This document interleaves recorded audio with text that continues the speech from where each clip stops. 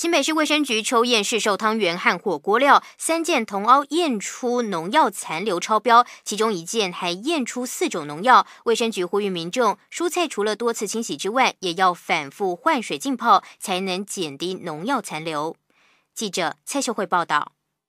冷飕飕的冬天，汤圆跟火锅都大受欢迎。新北市卫生局十一月份抽验市售汤圆二十件、火锅料六十件及十件茼蒿，共九十件食品，结果三件茼蒿被验出农药残留超标，卫生局要求违规商品立即下架。卫生局科长刘君豪说：“这次我们在抽了十件茼蒿的部分呢，不管是在大卖场或者是散装的部分都有哈。那其中有三件散装的部分呢。”的茼蒿被验出了农药，比如说像验出了像芬普尼、达灭芬，或是像四氯异苯嗪等等这些农药的部分。那这三件基本上目前所查的结果都是属于散装的，所以我们还在追踪。卫生局表示，由于不合格的产品都是散装，将追查后续来源，如查证属实，可依《食品安全卫生管理法》处六万以上两亿以下的罚款。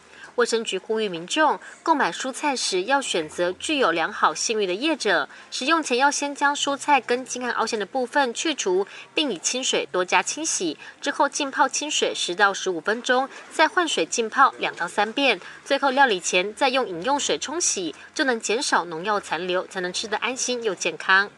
记者蔡秀慧，新北报道。